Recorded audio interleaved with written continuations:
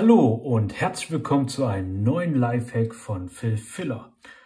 Heute soll es darum gehen, was man machen kann, wenn der Füller etwas kratzt bzw. wenn er besonders viel Feedback hat. Ich meine damit, wenn ich jetzt hier übers Papier fahre, ihr hört es wahrscheinlich schon,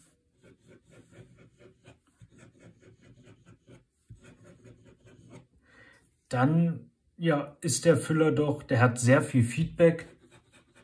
Also er kratzt jetzt leicht.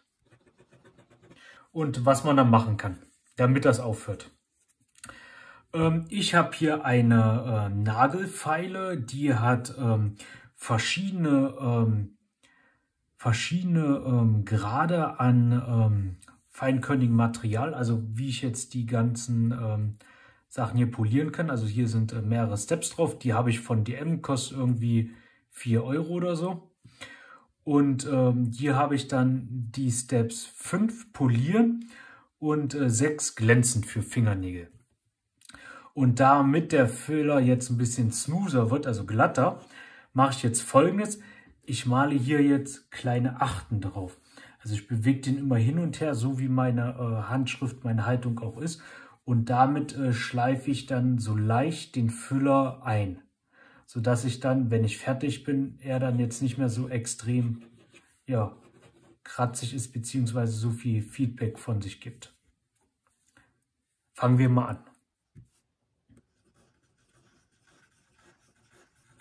Man merkt hier schon beim Einschreiben, dass der Füller so leicht hakt am Anfang. Aber wenn man jetzt zwei, dreimal über die Stelle drüber gegangen ist, dann äh, ist das auch kein Problem mehr. Da hakt hier jetzt persönlich nichts mehr.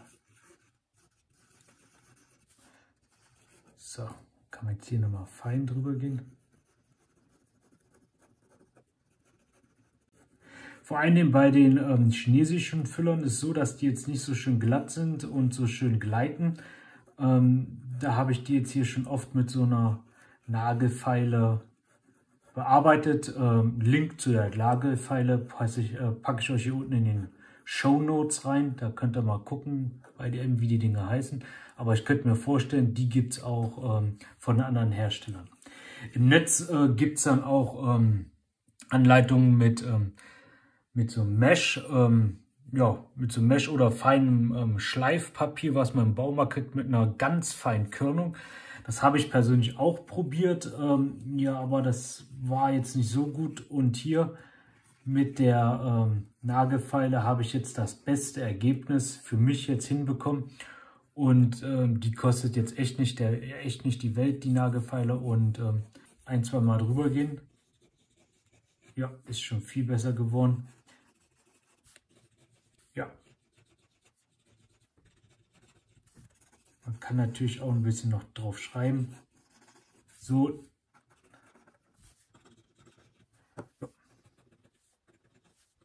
Also man kann jetzt hier direkt ähm, für seine Handschrift auf der Nagelfeile einschreiben. Also funktioniert sehr, sehr gut und äh,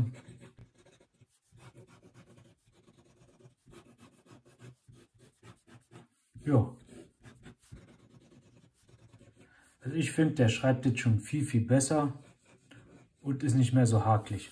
Also er hat jetzt bloß noch Geräusche und das resultiert jetzt wahrscheinlich noch schlussendlich darauf, dass das hier eine F-Feder ist und die dann natürlich ähm, ja, die Kraft, die ich jetzt hier aufbringe auf das Blatt Papier, naja, ist halt jetzt hier über so einen ganz kleinen ähm, Metall, also hier an der Kugel hier vorne ist jetzt hier so ein bisschen nur, ähm, ist ein ganz kleiner Punkt, wo jetzt die Kraft aufgebracht wird und deswegen ist es hier ein bisschen lauter. Wenn jetzt die Feder ein bisschen breiter wäre, wäre es jetzt nicht so laut, aber dafür, ähm, ja, läuft das jetzt hier wieder akkurat. Also verhakt sich jetzt hier nicht, gefällt mir gut. Wie gesagt, kleinen Achten machen, so wie ihr den Füller haltet und dann zack, habt ihr den so leicht eingeschliffen. Ihr könnt ihn dann, wenn ihr hier bearbeitet habt, wenn ihr auf Nummer sicher äh, gehen wollt, mit einer Ohrendusche auch nochmal den Füller spülen, sodass, äh, falls jetzt hier so ein bisschen von dem Schleifgranulat, was hier abgegangen ist, vielleicht hier in der Feder drin ist, könnt ihr das nochmal klar spülen und dann ist es auf jeden Fall draußen. Also ich mache das immer auf Nummer sicher. Ich weiß jetzt nicht, ob es äh, zwingend notwendig ist. Aber dann, wenn ich den jetzt hier mit bearbeitet habe, dann ist er jetzt nicht mehr so kratzig, also dann läuft er wieder gut.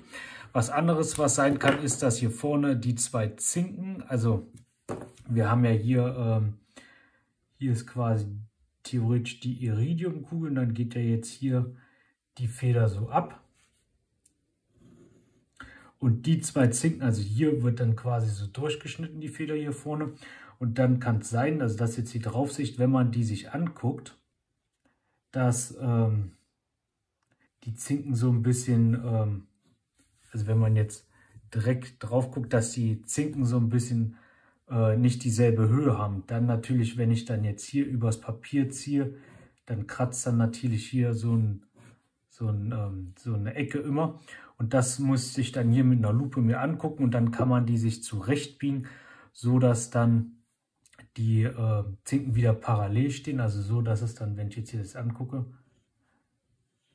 dass sie dann wieder so stehen, ähm, damit die nicht mehr ähm, sich ins Papier faken. So würde ich dann das Kratzen auch wieder hinkriegen, dass sie nicht kratzt. Aber jetzt hier im Allgemeinfall sind die Zinken ja hier nicht irgendwie verbogen. Und wenn ich jetzt hier ein, zwei Mal über das, ähm, ja, über die Maniküre, ähm, über das Maniküre-Set hier drüber gehe, dann kriege ich das hin, dass der Füller nicht mehr so kratzt.